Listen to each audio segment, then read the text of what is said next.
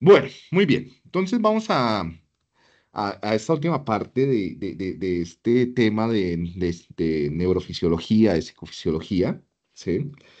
Y es un tercer tipo de potenciales de membrana, que son los potenciales posinápticos. Entonces, para eso primero entendamos qué es una sinapsis. ¿sí? Una sinapsis es el espacio de comunicación entre una neurona pre y una neurona post-sináptica. ¿sí? Entonces, la neurona que envía la señal se conoce como presináptica, o sea, antes de la sinapsis. Tenemos la neurona presináptica, la sinapsis y la neurona que recibe la señal, que será una neurona postsináptica. ¿sí? La señal en este caso es un neurotransmisor, ¿sí? un ligando, una llave. Entonces, el proceso en la sinapsis es bastante simple. Viene el potencial de acción, causa que se libere el neurotransmisor. El neurotransmisor viaja a través de la hendidura o brecha sináptica o espacio sináptico. De ¿sí? Profe, qué pena te interrumpo. ¿No estoy compartiendo la presentación? No, señor. Ah, bueno, muchas gracias. Y yo acá señalando. gracias. Otra vez. Entonces estamos en la sinapsis. ¿Sí?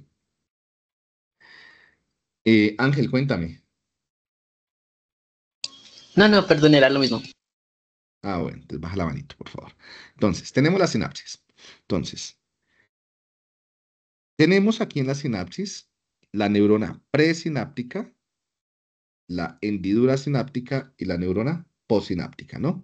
Esto por lo general es un botón axonal. Entonces, el botón del axón viene el potencial de acción, ¿sí? son estos más y menos, generan o causan que se libere, que las vesículas expulsen el neurotransmisor en la hendidura sináptica. Ese neurotransmisor viaja por todo esto va a llegar acá a una puerta, a un canal de ligando, ¿sí? Se une el neurotransmisor, abre el canal, ingresa el ion y se genera un cambio en el potencial de membrana en la neurona postsináptica, es decir, un potencial, en este caso será graduado, ¿no? Por lo general, en una dendrita o en el soma. ¿Sí? Claro, como ese potencial graduado ya no es en la neurona presináptica, sino en la postsináptica, le vamos a cambiar el nombre. Ahora lo vamos a llamar potencial postsináptico. ¿Sí?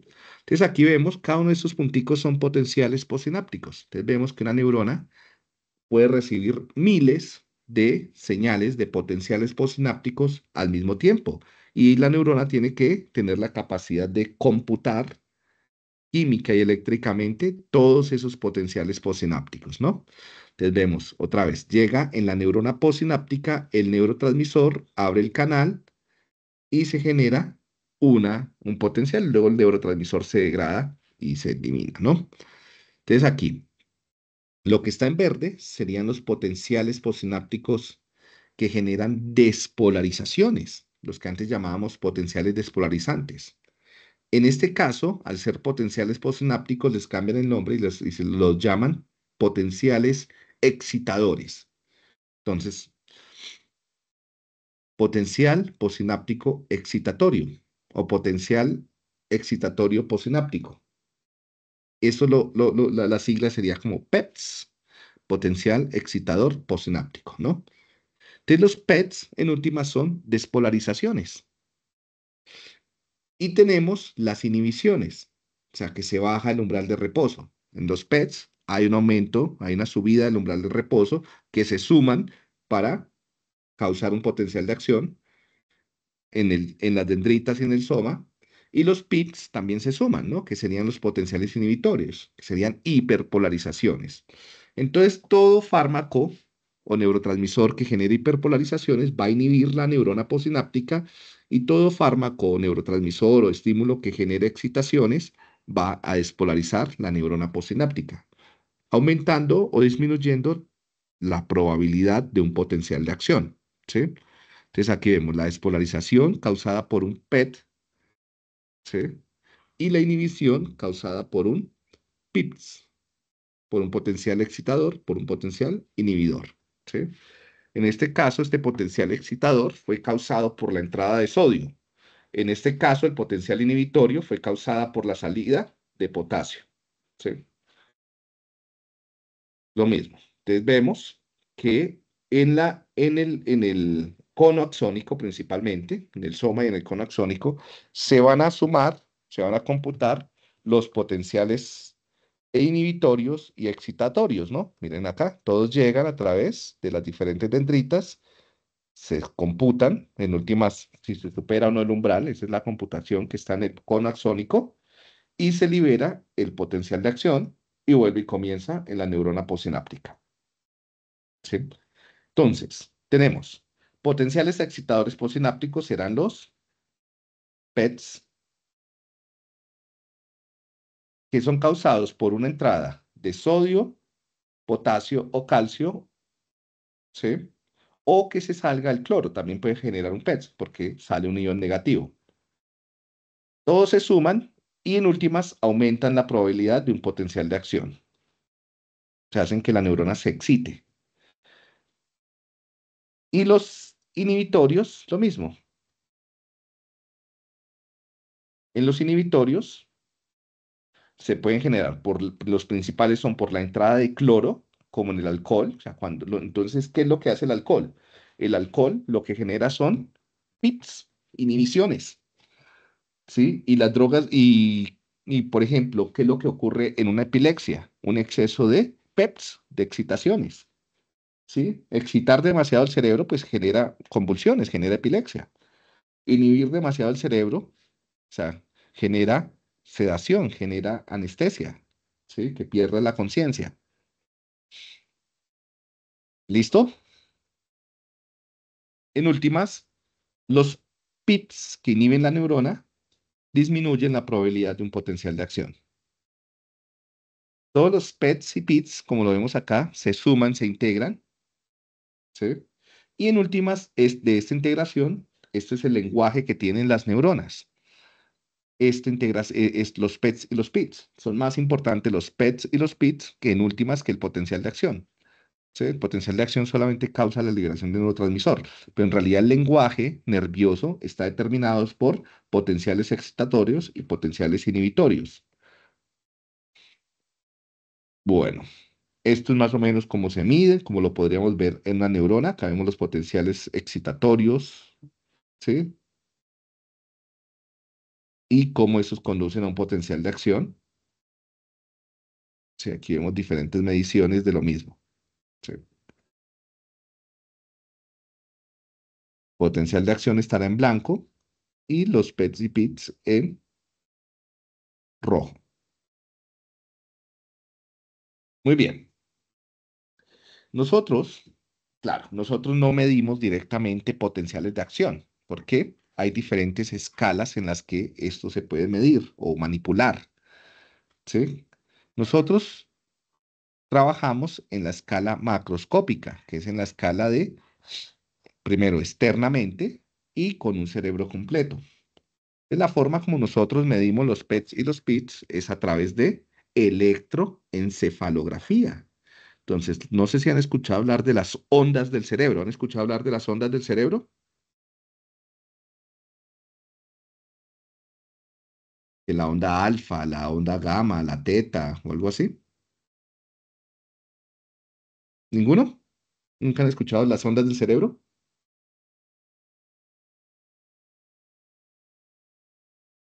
Mariana.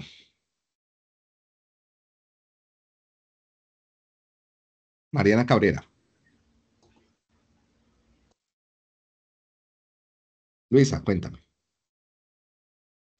Pues yo cuando estaba en el colegio, ¿Sí? hice un estudio, bueno, como un informe, un laboratorio, en donde nos tocaba ver, pues según lo que yo investigué, como que las ondas eran dependiendo pues del cerebro. Entonces, por ejemplo, decían que cuando uno dormía, se, bueno, se activaba o se hacía cierto tipo de ondas, que cuando uno está concentrado, cuando uno está acelerado, como que eh, la onda se hacía más rápida, con más frecuencia o con menos frecuencia, que es cuando uno dormía.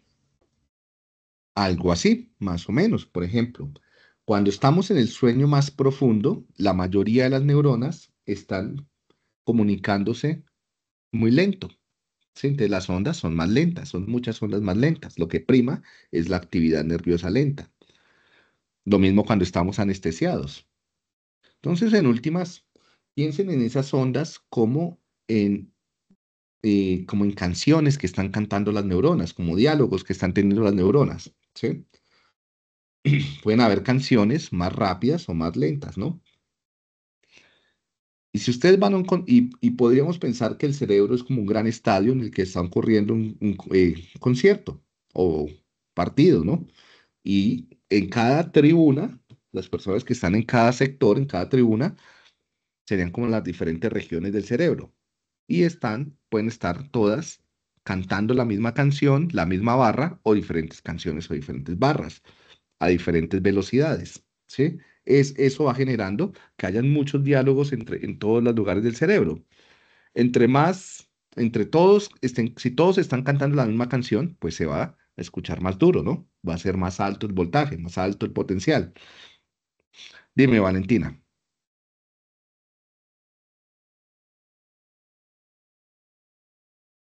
Valentina, ¿estás levantando la mano?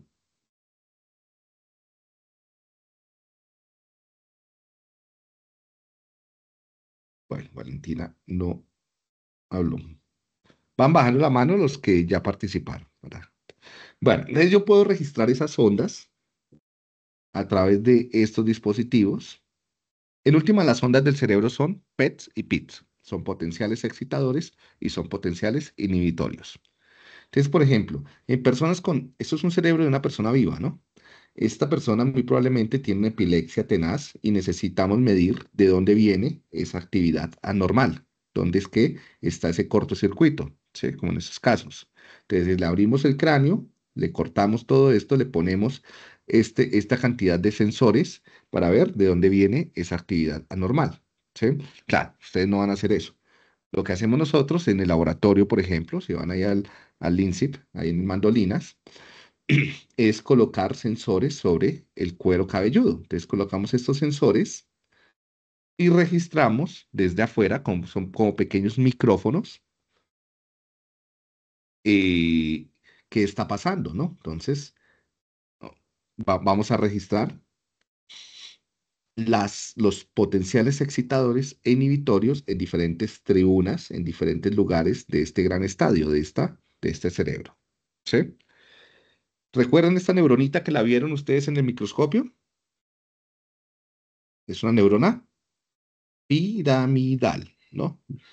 Estas son las capas, y esto fue lo que, esto fue lo que ustedes vieron en el microscopio, ¿no? Diferentes neuronas piramidal en diferentes capas y no piramidales. La neurona piramidal va a tener como, como si fuera una pila, ¿no? Una parte positiva, un imán, y una parte negativa. Aquí, en el axón, digo, este es el axón, digo, ¿sí?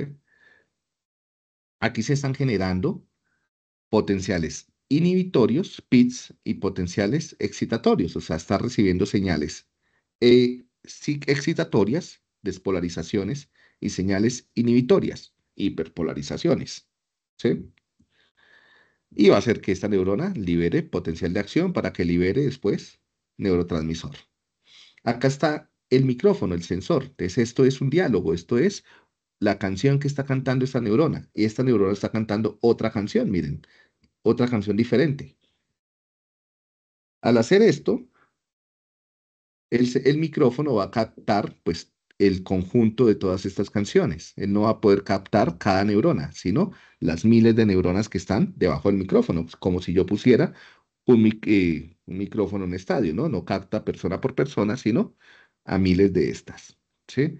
Y ese, y, es, y, es, y ese, ese registro va a ser el electroencefalograma, ¿no? Entonces aquí vamos a ver las neuronitas que están siendo, unas están en una, eh, como en una onda más positiva, otras una negativa. Entonces eso me va a dar diferentes, esas son las ondas, ahí, se, ahí es donde surgen esas ondas. Esto es un segundo. Si yo parara esto, entre cada línea vertical, aquí, por ejemplo, esto es un segundo. ¿Sí? Si yo cuento cuántos picos, cuántas montañitas hay por segundo, eso me va a dar una frecuencia. O sea, yo puedo tener, digamos, como acá, más o menos unas 8, 9 ondas por, por segundo. ¿Sí? Eso quiere decir que es, aquí lo que vamos a atender es una onda con una frecuencia de 9 Hz, hercios. ¿Sí? Entonces, en cada una de estas es un micrófono. Micrófonos en el lóbulo frontal, temporal, occipital, parietal, en la derecha, en la izquierda. Y si se dan cuenta, acá, por ejemplo, estas ondas son muchísimas. Hay como 20 ondas, 20 picos dentro de cada segundo. Pero son más pequeñas. Y estas que son más o menos unas 9, 8, 9, son más grandes. Entonces, entre más grande la onda, más amplia, menor cantidad de ondas por segundo. Es más baja la frecuencia. Cuando hablabas de las ondas rápidas y ondas lentas es esto.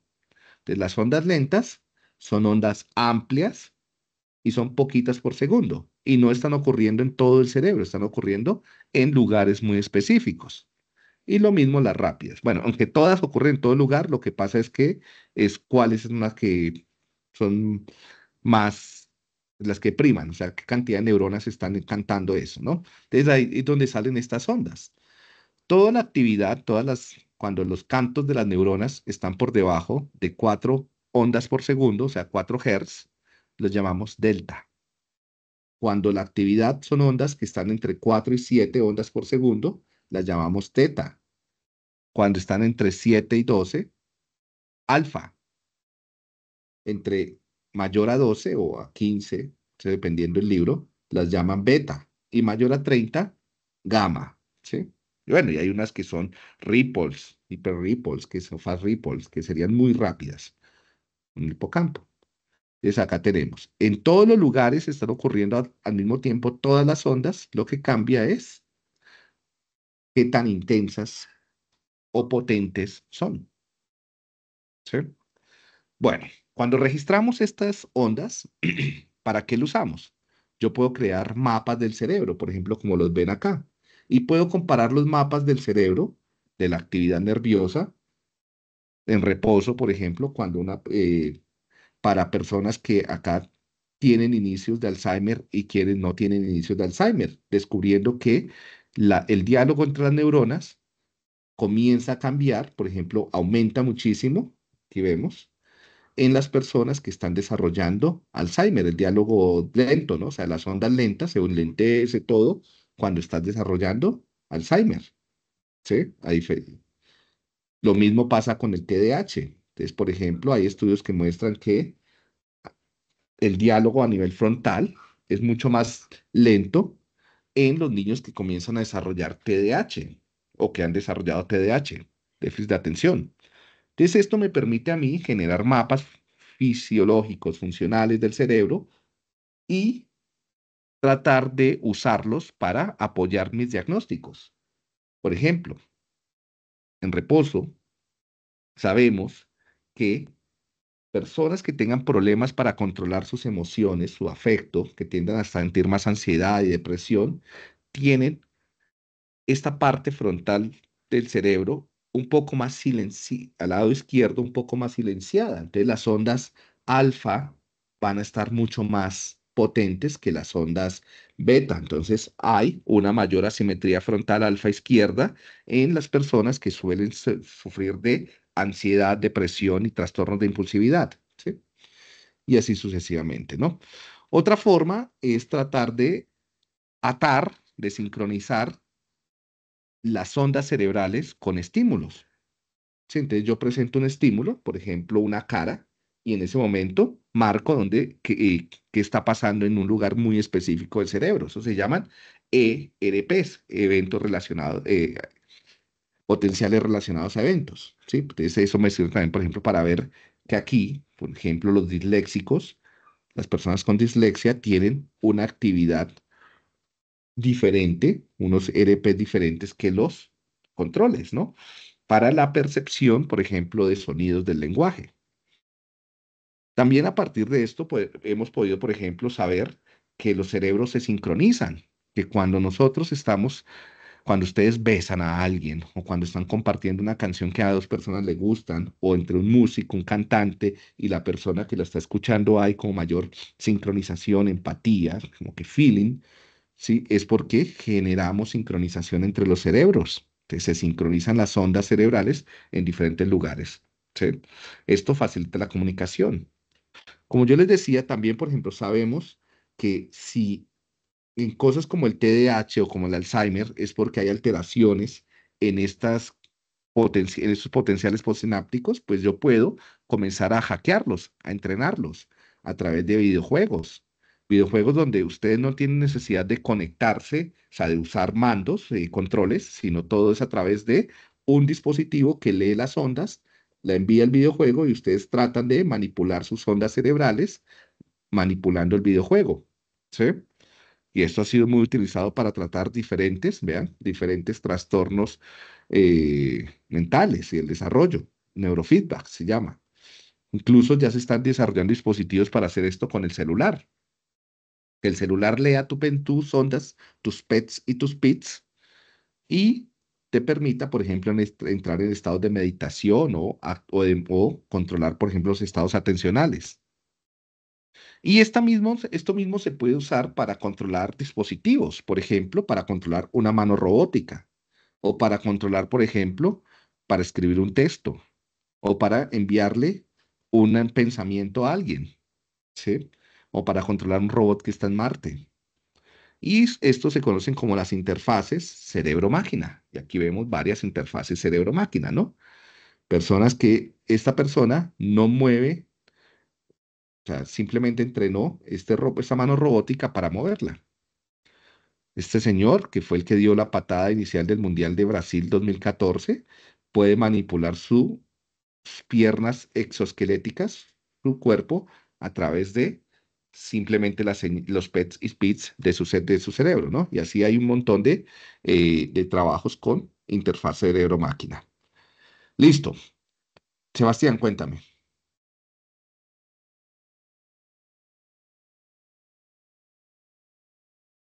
Sebastián. pero, ¿qué determina la intensidad de una onda? La, cantidad, la intensidad no se llama intensidad, sino amplitud. ¿Sí? O sea, ¿qué tan amplia es? Y depende de la cantidad de neuronas que están en la misma actividad. Entre más neuronas tengas cantando la misma canción, más amplia es la, es la onda. ¿sí? Entonces, por ejemplo, durante el sueño profundo, son muy amplias las ondas lentas porque tenemos muchas neuronas inhibidas cantando lentamente. ¿sí?